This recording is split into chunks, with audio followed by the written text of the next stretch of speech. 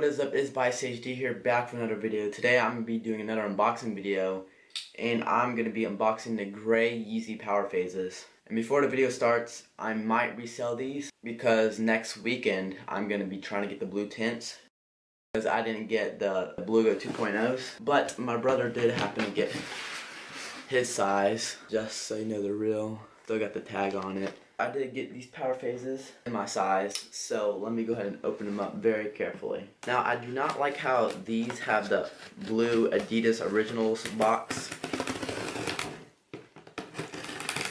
I was kind of wishing there would be like a more cool looking box. And there we go. Here's the box. I'm surprised because for some reason these box all these boxes always get destroyed. So here we go, you guys get the first look. Probably have to take off some paper though first. Alrighty, got the gold Adidas paper, and there is the shoe.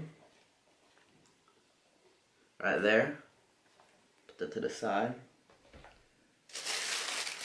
And then there is the other shoe. Like that. Put the box aside.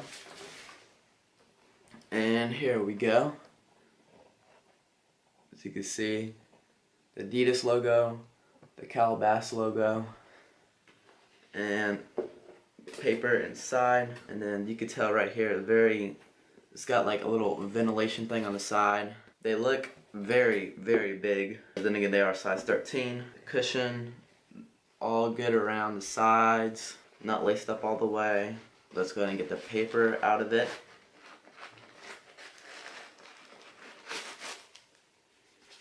Alright, now let's put it on foot.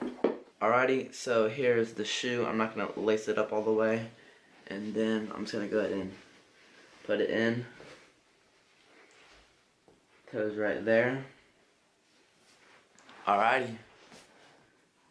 It is very comfortable. It is very snug around the base of my foot. So like I said, I am going to, if I don't get the blue tints, I will be reselling these on GOAT. I'll have a link to my account on GOAT. But yeah, these are some really comfortable looking shoes. Really comfortable looking shoes. Comfortable looking shoes. I know they do look like Reeboks. Bruh, look at this dude. Wait till you see the. no, no, no, no.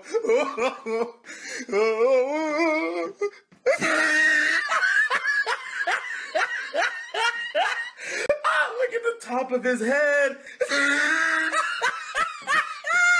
look at his lips. It looks like there's a sticker on the bottom right there. That was there before I put it on. See, here we go. It's got the stitching right through here, all across the side. And then you've got the leather. Very, very flimsy, not on. And then you got the laces, just generic laces. Then you got the insole right there. And then you got the Adidas logo right here, the green Adidas font, and the red logo. And then you have, of course, the gold Calabasas little font on the side right there. And then you've got the sole. And the back is pretty sturdy. So you can see it's got the Adidas logo right there on the heel. And let's see what the, oh, well, looks like the sole is inside. So I'm not to take out the sole. And then here is the shoe size tag.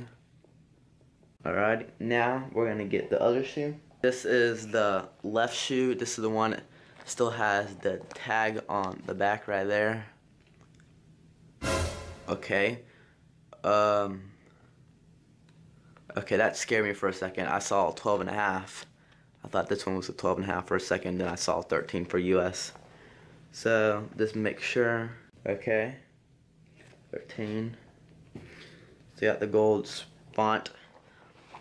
So it's really weird. You can't really tell, but off camera, it's like the leather's really wrinkly. Right here, it's kind of got like it's like bulging out a little bit. Um, the other one doesn't do that, so that's really weird. But anyways, still got the same cushion. Got a little bit of the stitching off. But other than that, it looks clean. You can tell it's still dead stock. The sole's clean. There wasn't a sticker on this one. And I'm gonna keep the paper in on side of this one. And so yeah, there we go. There's it's the Yeezy Calabasas And they do look very similar to Reeboks. And I'll be honest with you, they're not the shoe for everybody. But now what I really wanted to do was compare it.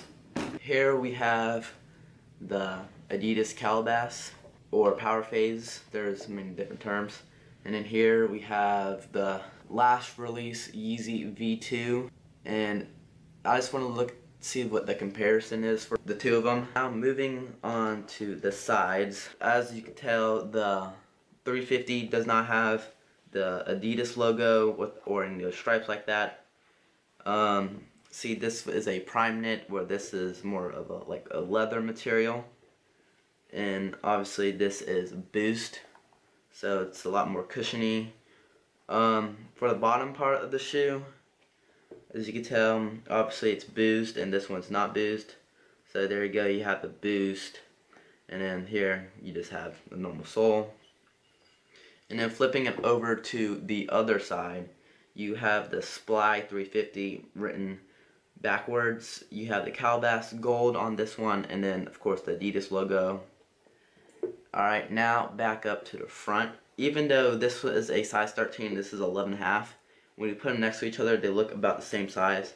And that is because of the surrounding of the shoe. How it has that from the boost. So it does look a lot bigger but it is smaller actually. And now the inside, the only part of the shoe that it says Adidas on it is the sole. This sole is removable, um, but I'm not going to take it out right now.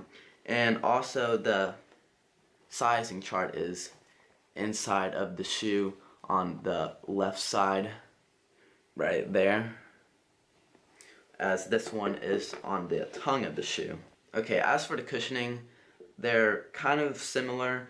As you can tell, the back, it, uh, it kind of has a lip like the 350, but it, um, well, actually it is kind of similar, but the 350 is a lot taller and wider and more like a box shape.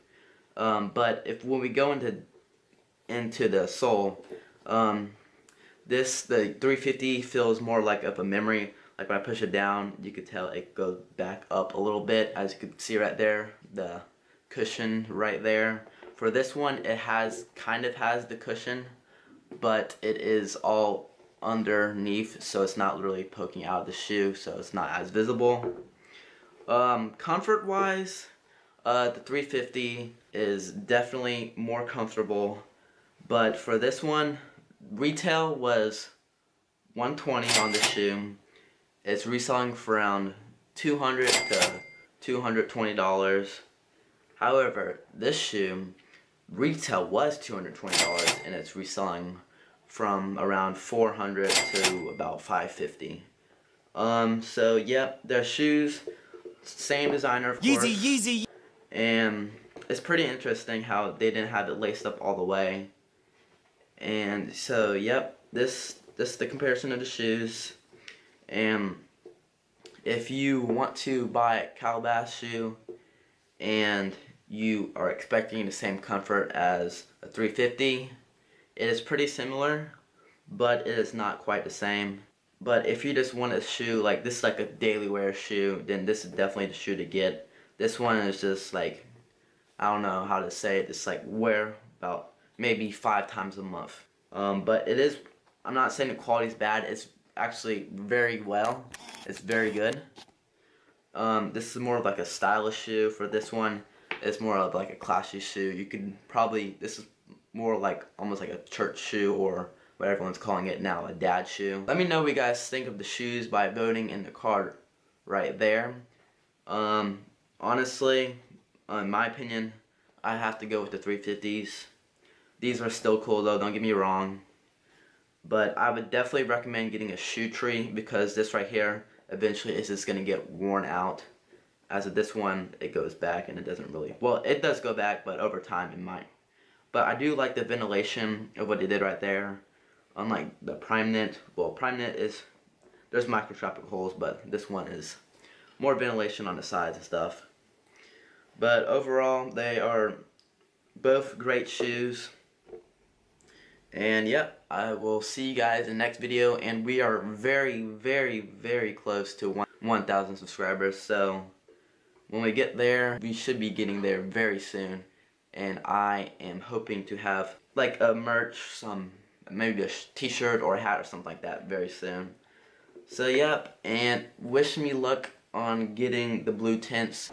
Because I was procrastinating very hard, I just finished editing this video today, which is Saturday, and I did get a pair, and I got them from Footaction. So yeah, for wish me luck. Because I definitely would rather have 350s over these. Alright, see you guys in the next video. Peace out. Bye.